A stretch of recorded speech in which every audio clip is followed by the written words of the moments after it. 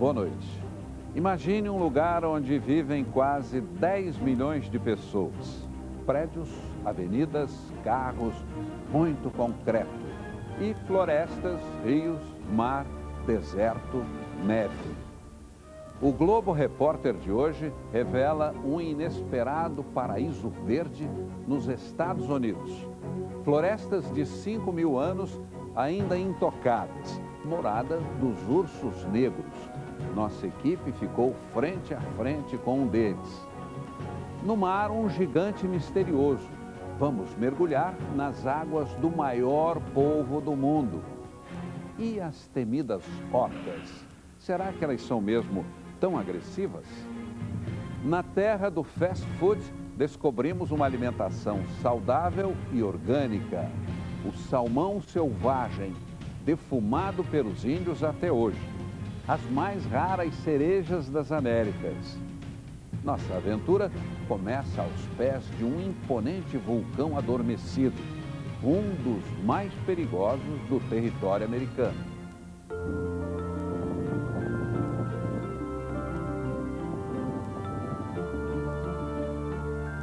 Essa é uma história das coisas pequenas.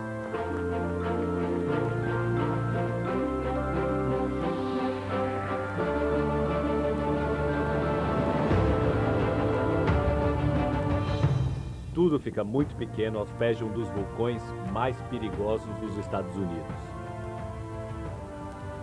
E lá no topo, a maior geleira do país dá à luz seis rios.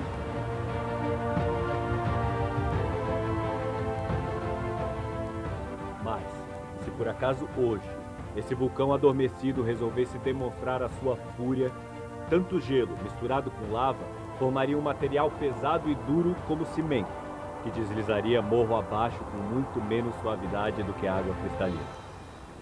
Desse ponto de vista, tudo se torna pequeno e frágil. Desde as minúsculas flores subalpinas que só florescem durante quatro semanas do ano as pequenas marmotas, essas bolas de pelo cavadoras de túneis subterrâneos. Aos veados atentos a qualquer sinal de ameaça. Mais bravos dos homens. Tudo fica muito pequeno perto do vulcão que hoje é chamado de Monte Ranier. Não escaparia dele nenhum dos bichos mais perigosos desse lugar. O dono disso tudo. A gente está entrando agora na terra do urso negro. É uma reserva de vida selvagem no coração de uma floresta. A gente está aqui por conta e risco, não tem ninguém guiando a gente. Só o que disseram é que a regra principal é respeito. Andar devagar, fazer o mínimo de ruído possível. O urso negro pode chegar a 2 metros de comprimento e pesar 160 quilos. E se a gente entrar no caminho de um deles, pode ser o fim da nossa viagem que mal começou. Até que a gente percebe uma vegetação recém-pisada. E olha quem a gente encontra. A gente está a poucos metros de distância de uma família de ursos negros selvagens. Aqui a gente consegue ver um, olha só. Ele está ali no meio daquele, daquela vegetação baixinha. A recomendação é que a gente faça muito silêncio para não assustar o bicho e para também que ele não venha para cima da gente. O que a gente não pode é ficar entre a mãe e um filhote. Porque nesse caso a mãe faria de tudo para proteger o filhote. Por isso que a gente tem que manter uma certa distância. Mas daqui a gente consegue ver o bicho, que bicho lindo. Parece que ele acha que chegou mais gente pro almoço. Olha só, ele tá curioso também. Ele quer ver quem tá aqui. Dessa vez ele olhou para nossa câmera e não entendeu direito. Preferiu se esconder. Talvez tenha ido contar para a mãe. Talvez para ele tenha sido um dia tão especial quanto o nosso. O dia em que viu humanos. Talvez os únicos que ele já tivesse visto por aqui usassem um uniforme como esse. Os guardas florestais patrulham a região que é um parque nacional. A área em torno do vulcão é selvagem, mas tem fronteiras bem delimitadas. Para os povos nativos, também havia uma fronteira. Era a parte branca da montanha. Quem entrasse na zona de neve eterna tinha que baixar as armas. Uma zona neutra, de paz. Um sinal de respeito a um Deus, um espírito, a maior força de todas, a força do vulcão. E é em volta dele que nós vamos fazer nossa viagem de hoje e você está convidado. E aos pés desse vulcão, paisagens de todas as cores. Um estado que tem tanto verde que ganhou o apelido de Esmeralda.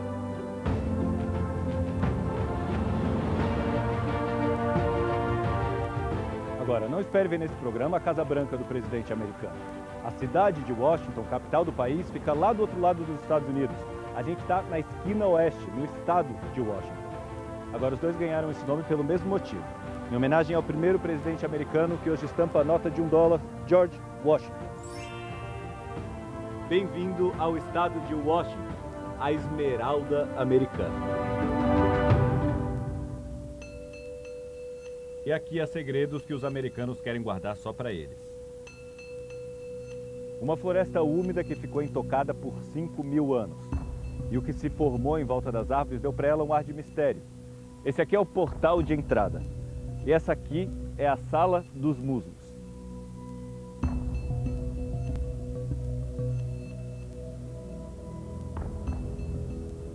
O ar desse lugar é diferente do que o que você está respirando agora é super nutritivo, úmido, cheio de água e minerais. Por isso que esse musgo é capaz de se desenvolver.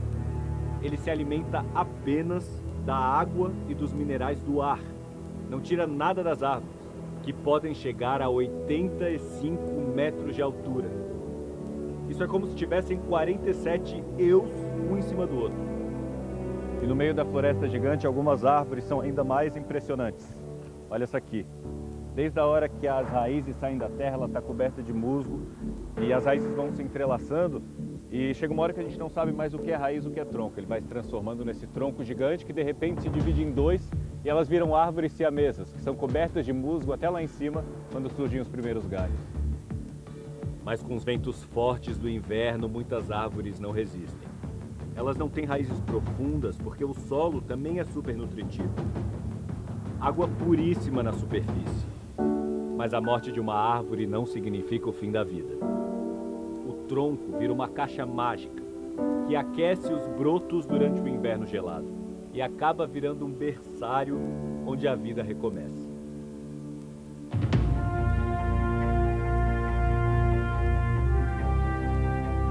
Na tentativa humana de imitar a natureza, esse é o tesouro de Washington o obelisco espacial.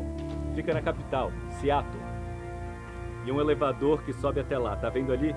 A 184 metros de altura tem um observatório. Mas quando aqui do topo a gente vê aquele gigante ali, até essa torre parece pequena. Na época da construção, nos anos 1960, estava sendo lançado um desenho animado criadores usaram o obelisco espacial como inspiração.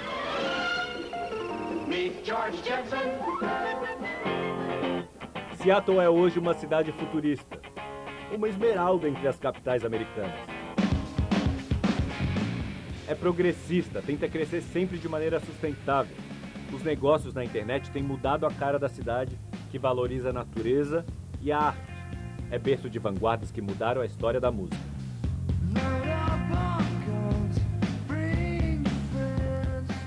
Todo lugar tem uma história. Algumas são mais misteriosas que as outras. A desse lugar aqui se esconde no fundo do mar. Embaixo dessa ponte dizem que existe um monstro, um polvo de dezenas de metros de comprimento. Afinal, o que mais seria capaz de abalar uma estrutura como essa?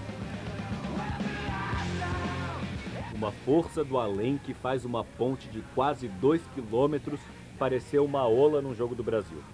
O que os cientistas dizem é que os engenheiros erraram os cálculos e que o vento de 40 km por hora era capaz de fazer isso aí. De qualquer forma, a antiga ponte colapsou. A ponte foi reconstruída logo depois, mas os moradores juram que aqui embaixo ainda mora um povo gigante. Você acredita?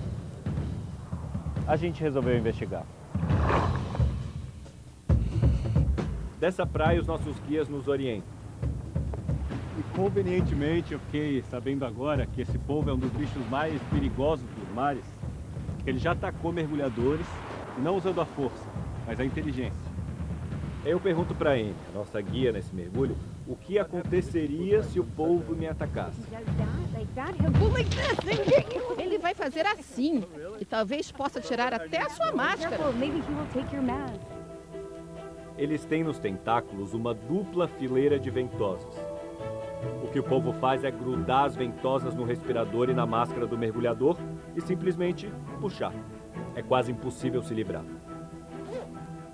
Bem, é atrás desse bicho aí que a gente vai agora.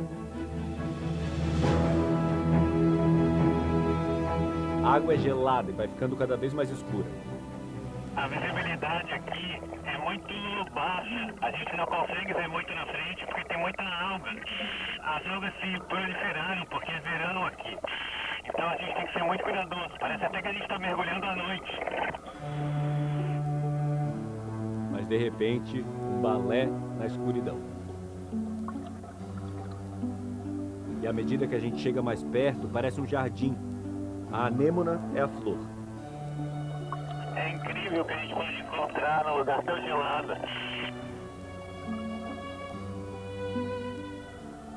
Esse é um peixe rato, ou uma quimera. Esse outro parece um pássaro flutuando no ar. Até que, de repente, olha quem estava tentando se esconder embaixo da pedra e esqueceu alguma coisa de fora.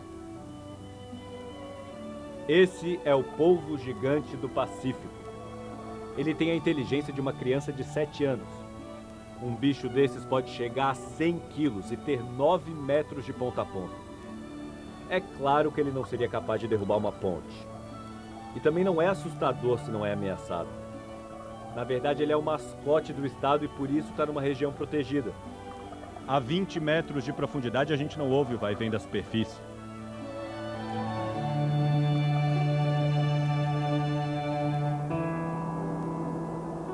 Mas é aqui que começa a nossa próxima aventura. Para embarcar num desses aviãozinhos, até nossa câmera tem que ser pesada. Para somar ao nosso peso, claro. Consegue ver que tem um barco passando na pista do nosso aeroporto, olha só. Uma aventura até uma ilha remota. Agora a gente está pegando velocidade em rumo ao arquipélago das baleias. Fica procurando por elas lá embaixo e só para de olhar quando o avião começa a balançar demais. Acho que eu prefiro montanha-russa. É, agora a gente começou a pegar uma turbulência aqui, começou a bater um vento. Mas logo se revela o nosso destino: as Ilhas San Juan. Chegamos então ao arquipélago das orcas. O que nos dizem é que aqui tem tanta orca que até uma parte de um clássico da sessão da tarde foi gravada aqui.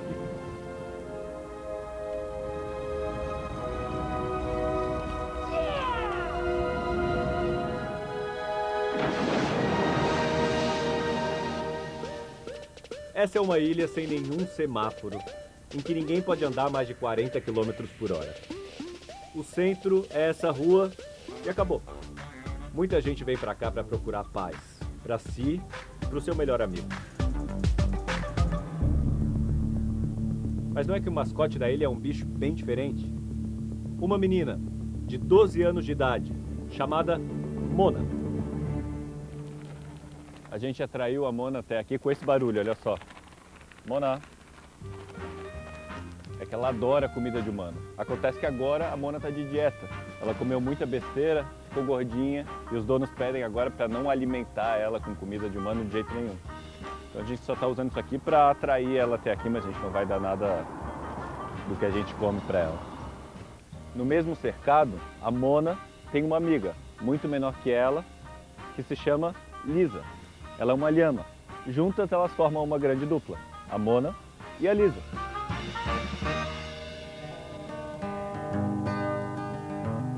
Quem a gente está procurando aqui é um cara chamado Jonathan.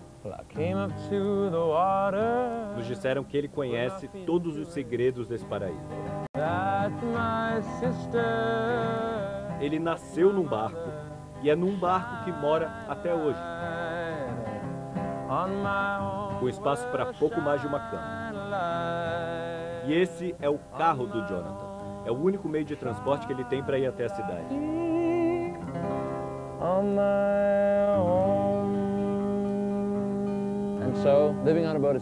Morar num barco é grátis e é ótimo. Você acorda todo dia com esse visual e ainda pode pescar o jantar. E se a gente quiser ajuda para ir atrás das baleias da ilha, vai ter que ser do jeito dele.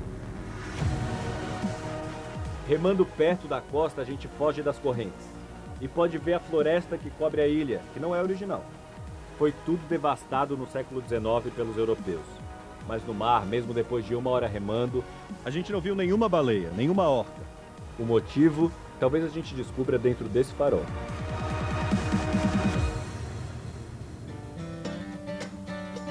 É ali que trabalha um pesquisador.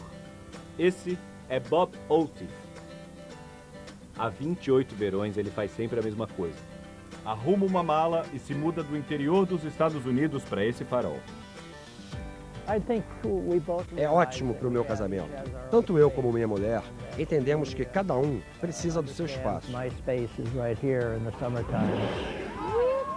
Mas ele não fica sozinho. Daqui do farol ele conta, filma e grava os vizinhos. São pelo menos três famílias de orcas. E elas não param de conversar através dos sons e dos movimentos.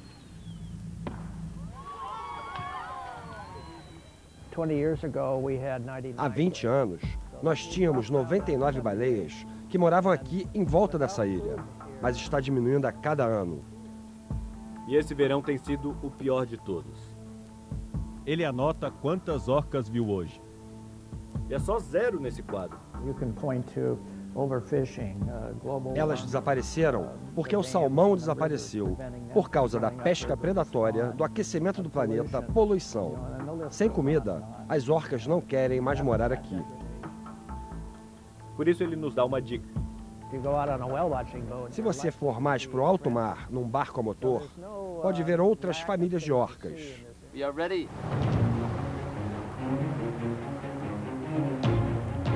Logo no começo a gente avista uma ilha diferente das outras. Essa pedra aqui é a que as focas usam para uma siesta, uma soneca depois do almoço. Elas foram caçar e voltam nadando para cá para descansar embaixo do sol. E ao longe, outros barcos que parece que estão procurando o mesmo que a gente. E lá estão elas, as orcas. E são curiosas, tentam espiar o que está acontecendo em volta.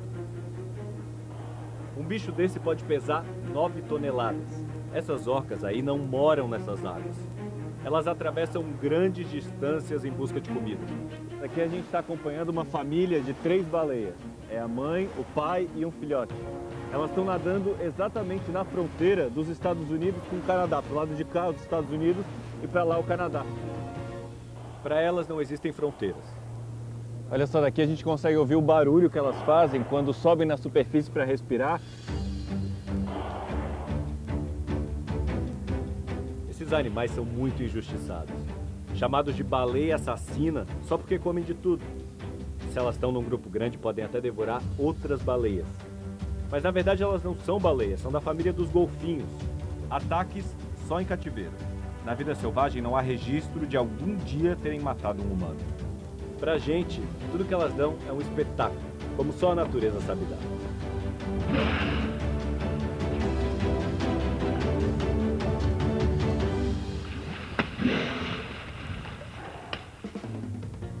O incrível mercado dos peixes voadores e os segredos da nova culinária americana. Alimentação saudável e orgânica. É daqui a pouco.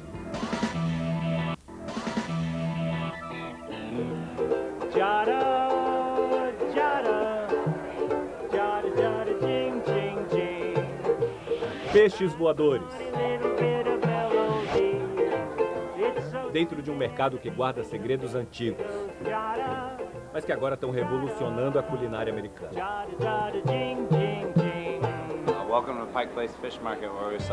Bem-vindo ao mercado Pike Place, onde vendemos os melhores frutos do mar do mundo. Caras aí fazem de tudo para chamar a atenção do público. Olha só que dente estranho desse peixe. Assustou o bebê, coitado. É uma atração essa banca do mercado. Olha só quanta gente junta aqui, ó. Mas por que vocês jogam esses peixes, eu pergunto?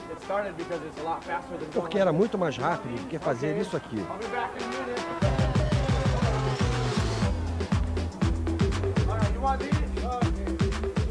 Na verdade, isso foi uma invenção antiga do dono da banca exatamente para chamar a atenção e atrair a freguesia.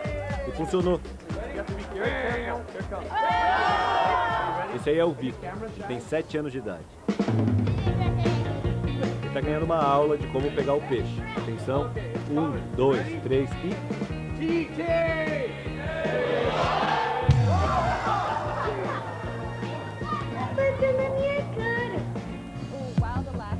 gente quer te apresentar uma chefe de cozinha que sabe todos os segredos desse mercado. E da culinária local, que é bem diferente dos hambúrgueres que os americanos tanto gostam. Mais saudável, mais simples, mais coisa local, regional. É, é- é bem diferente do, do pensamento do resto. Sim, a Amy veio da Bahia, mas já está aqui desde os 6 anos de idade. Ela está falando sobre o movimento da gastronomia local conhecido como culinária da costa noroeste do Pacífico. A principal regra é valorizar o produto local, orgânico, fresco. E nessa culinária há uma grande estrela. O salmão é o peixe preferido, mais popular, todo mundo conhece. Aqui desse lado, no Oceano Pacífico, são cinco espécies diferentes de salmão. No Oceano Atlântico tem só uma. Tem uma curiosidade, todo peixe aqui tem que ter certidão de nascimento. Só vejo a certidão de nascimento dos peixes, eu sei qual que é bom para comprar e qual não. Right. Porque todo mundo aqui se preocupa muito em saber se é, é de cativeiro ou de selvagem. É importante saber de onde que a comida que a gente está comendo está vindo. As pesquisas mostram que o salmão de cativeiro geralmente tem menos ômega 3 que o seu irmão selvagem. E o de cativeiro também tem mais contaminantes. Só tem salmão selvagem nesse mercado aqui. E as paredes que o revestem também tem uma coisa diferente. Eles não querem que eu mostre o que eu vou mostrar agora, porque acham muito nojento, especialmente para essa parte do Globo Repórter em que tudo é feito para te deixar com água na boca. Mas esse lugar aqui já virou um ponto turístico da cidade que a gente tem que mostrar de alguma forma. Então, combinado é que eu vou mostrar muito rápido. Então, tem que ficar de olho aberto. Vão ser menos de 30 segundos. Preparado? Olha só. São duas paredes paralelas de todas as cores, mas se você olhar mais de perto, ah, chiclete. Virou uma grande obra de arte feita com goma de mascar e saliva do mundo inteiro, em que todo mundo, de todo mundo, para para tirar foto. Olha só. Sem. É nojento, mas faz sucesso.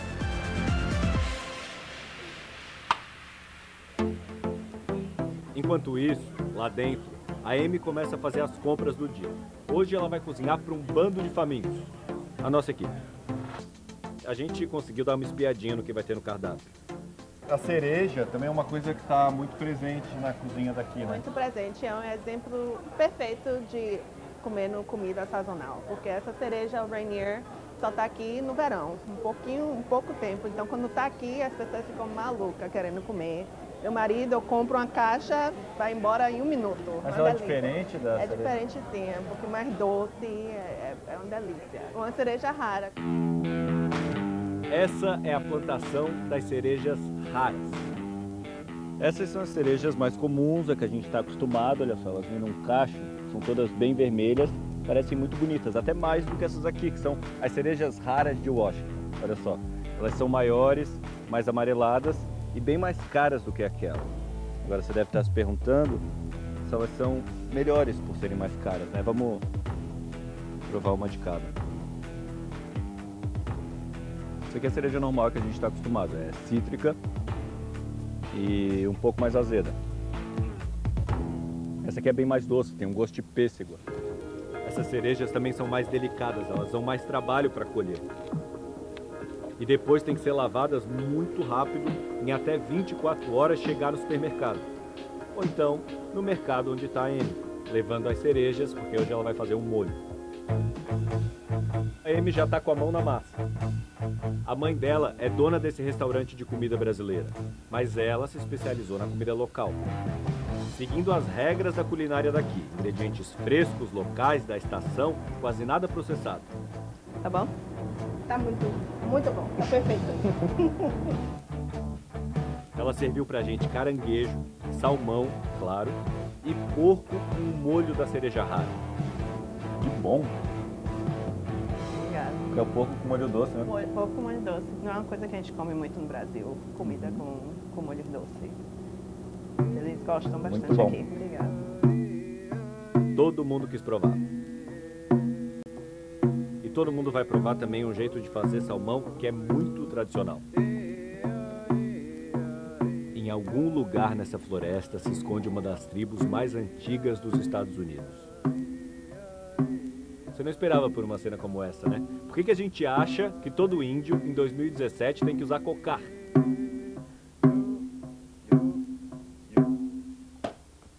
A cultura está mantida dentro desse defumador. A tribo Macá tem preparado salmão desse jeito desde tempos mais remotos. É como o nosso povo se mantinha vivo no inverno, comendo salmão defumado. E há milênios o salmão tem que ser cortado exatamente do mesmo jeito. Dentro do defumador a madeira não está em chamas, ela só solta fumaça. Não pode ser qualquer madeira, apenas o tronco do amieiro. O amieiro é a principal árvore da região onde eles vivem, está ali do lado. E de acordo com o Nate, muda totalmente o sabor do peixe. Simples churrasco de salmão no almoço em família é feito de maneira tradicional. Tudo vem direto do mar. Salmão, o linguado, Há mais de 150 anos, esses índios assinaram um acordo com o governo. Entregaram todas as terras e ficaram com pequenas reservas em diferentes partes do estado. Mas o ponto mais importante desse acordo para eles, eles mantêm até hoje: o direito de explorar o mar. O mar é o meu país, é um dos lemas da tribo. Por isso que o prato típico não poderia ser diferente. Finalmente chegou a hora de a gente provar esse salmão defumado. Esse aqui ficou no forno por dois dias defumando. E a gente está super ansioso para provar. Tá todo mundo com água na boca porque, imagina, é um peixe que é feito do mesmo jeito há milhares de anos, cheio de regras, cheio de cuidados. E parece assim que o restaurante mais chique do mundo não seria capaz de reproduzir um método como esse, né? Então, vamos ver o gosto do salmão defumado.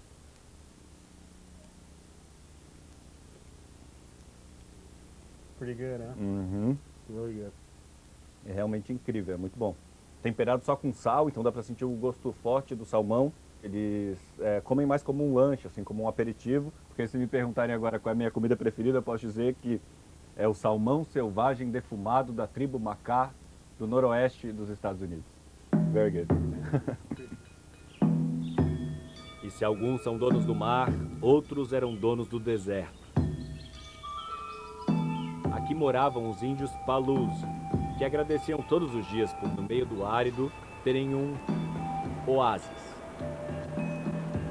Uma grande cachoeira num cânion, que fica ainda mais bonita quando escurece. E uma super lua surge no céu. Sei que você está vendo o Globo Repórter e gosta de ver aqui receitas saudáveis, mas hoje a gente vai abrir uma pequena exceção. Você já deve ter visto essa cena aqui tantas vezes no cinema americano que pode se perguntar: o que, que eles estão fazendo? Você vai descobrir agora. Tem que prestar atenção porque é uma receita difícil. Para fazer os s'mores, a gente vai precisar de marshmallow, chocolate e biscoito, ou bolacha, como você preferir chamar. E também de um gravetinho como esse que a gente acabou de pegar aqui na beira do rio. É assim, marshmallow no gravetinho, coloca no fogo até ficar dourado e com o biscoito e o chocolate faz um sanduíche. Esses são os s'mores. Eu vou fazer o sacrifício de provar só para vocês não terem que fazer isso em casa, tá bom?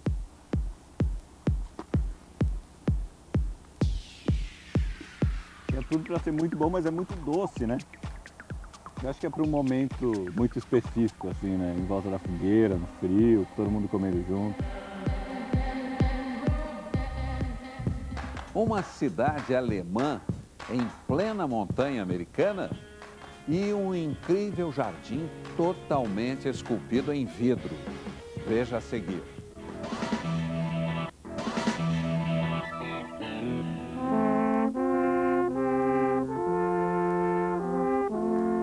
Globo Repórter vai para a Alemanha, ou melhor, para os Alpes da Baviera.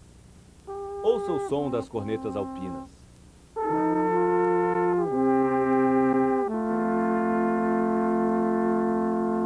All right, are you ready for more music? All right. Ou o grande sucesso da banda da praça, a dança do passarinho.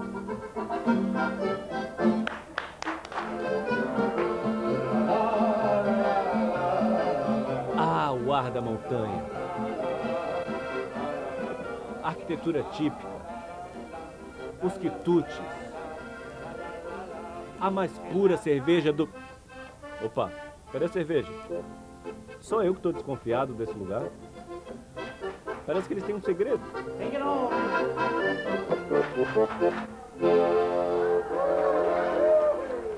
O meu estilo preferido é o jazz. Eu aprendi a tocar isso aqui faz um ano. Eu adoro hambúrguer. Eles são americanos, não são nem descendentes de alemães, é tudo falso, imitação. A gente ainda está nos Estados Unidos, como vocês podem bem notar. Mas por quê? Leavenworth era uma cidade que estava morrendo. Todo mundo se formava no ensino médio e ia embora. A gente precisava fazer alguma coisa para salvar a cidade. Os meus pais foram os primeiros. Eles tinham um hotel e disseram: vamos fazer uma fachada com temática alpina, porque a gente vive nas montanhas. Começou com o hotel, mas depois a cidade combinou. Quem fosse reformar a fachada faria com motivos dos Alpes alemães. A Universidade de Washington que comandou todo esse projeto. A prefeitura trocou placas das ruas e a iluminação. Demorou mais de 30 anos para ficar desse jeito aí, mas deu certo. Hoje muita gente vem para cá. As pessoas querem uma chance de sair da rotina, viajar para outro país sem ter que pagar um avião.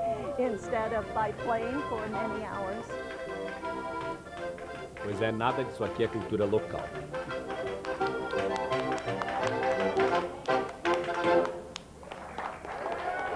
Existem dois jeitos de viajar. Ou você espera que o local se adapte a você, o que não vai acontecer, ou então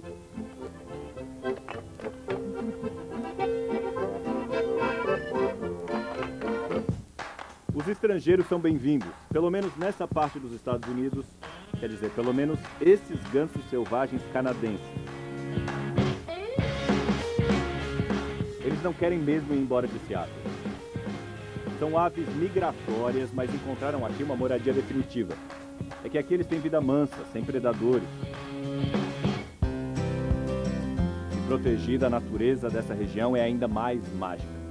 Uma terra fértil onde brotam flores raras, que só existem aqui. São obras de arte. E são tão delicadas quanto as plantas. Por causa dessas esculturas, Seattle passou a ser a capital do vidro dos Estados Unidos. Isso é criação do artista Dale Chihuly, e por causa dele, jovens do país inteiro vêm para cá estudar. Como a Lídia, ela tem 26 anos. Eu me mudei para cá para trabalhar com vidro profissionalmente. Aqui tem muitas escolas e estudos independentes e muitas oportunidades para quem está começando na arte do vidro. Hoje a Lídia vai mostrar como é que se cria um trabalho desses. Esse aqui é o nosso forno. Tem mais de 500 quilos de vidro e está a 1.100 graus Celsius. Por isso, nem dá para ver nada. Eu vou jogar uma bolinha de papel para que você consiga ver onde está o vidro. A Lídia tira então um pouco de vidro lá de dentro e me ensina a soprar. E até que fica um vaso bonito. Mas ela não tem piedade. A gente não queria guardar isso mesmo, era só para você ver como funciona. Ó, agora ela me deixou brincar um pouco com o vidro, olha só. É muito gostoso, é diferente. Vou fazer uma obra de arte aqui, tá? Puxa um pouco, para cima, para baixo. Uau! Meu plano era fazer um cachorro, mas acabou virando uma obra de arte abstrata. Agora a gente vai começar a fazer um copo, que é alguma coisa mais útil. A Lídia tira do forno o cano com uma bola de vidro, leva para o barril de água para esfriar o cano. Não é um trabalho fácil. Ela repete as etapas várias vezes, e são duas forças opostas: a potência do fogo com a leveza do sopro. A água resfria e ajuda a moldar. E aí eu começo a pegar o jeito, devagarinho. Perfeito. Um pouco mais rápido. O último toque é com o maçarico. Não sei se eu estou fazendo direito, mas foi o que ela me mandou fazer. O copo vai para um outro forno, onde fica por 12 horas. Não é que não ficou tão mal? Navegar nesse mundo de vidro é combustível para a imaginação. Até onde esse universo de formas e cores pode nos levar? O sonho de flutuar sobre campos de lavanda. Vamos embarcar num emocionante voo de balão. É daqui a pouco.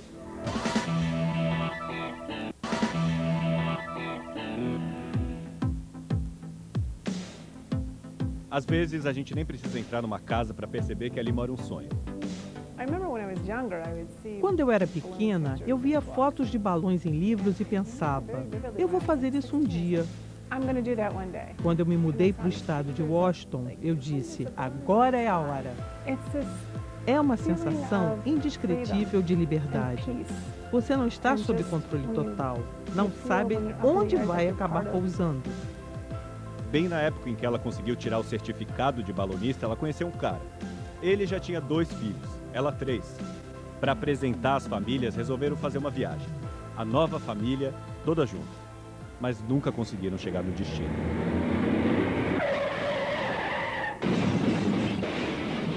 Denise foi a única dentro do carro que se machucou com capotamento. Perdeu quase todos os movimentos do pescoço para baixo. A primeira coisa que eu pensei foi: e agora? Como eu vou pilotar um balão?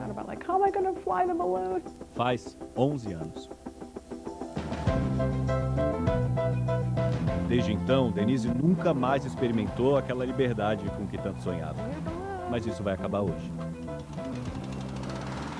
Os preparativos começaram às 6 horas da manhã. Está uma manhã fria, mas o sol está bonito, o céu está azul, tem pouco vento.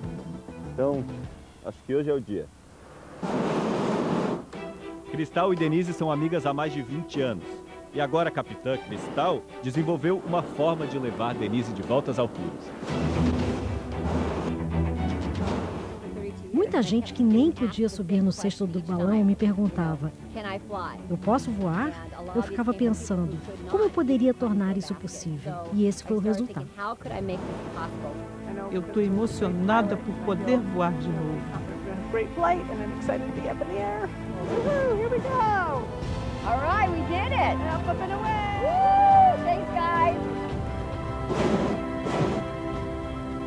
E um balão levando Denise de volta a sobrevoar os céus de Washington. Nesses últimos 11 anos, muita coisa mudou aqui embaixo. Naquela época, ela não podia ver esses pés de lavanda. Os filhos de Denise todos cresceram e saíram de casa. E aquele cara com quem ela estava no acidente virou marido. Amanhã comemoramos 11 anos de casados. A cerimônia foi três meses depois do acidente. E uma Denise no céu agora nos faz lembrar da fragilidade da vida. Tudo pode mudar amanhã. Estamos todos aos pés do vulcão. Os bichos mais ferozes, as culturas mais antigas, o mundo subaquático, as maiores construções dos homens. 5 mil anos de história. É tudo muito frágil. Tudo fica muito pequeno quando a gente se lembra disso. Para Denise, a vida é como voar de balão. Vai ao sabor do vento, com aquelas doses certas de rebeldia e esforço. Mas ninguém sabe onde vai parar. O pouso quase nunca é tranquilo. Mas de vez em quando tem suas recompensas.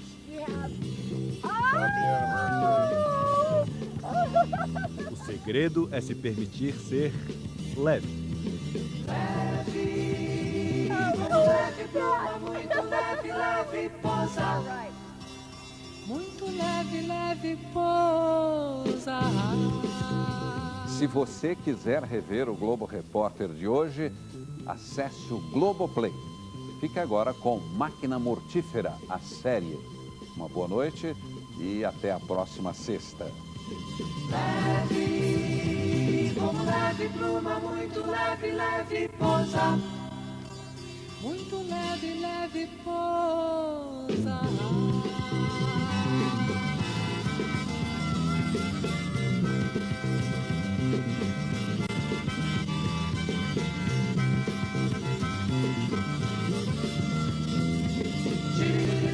Chip, chip, chip, chip, chip, chip, chip, chip, chip, chip, chip, chip, chip, chip.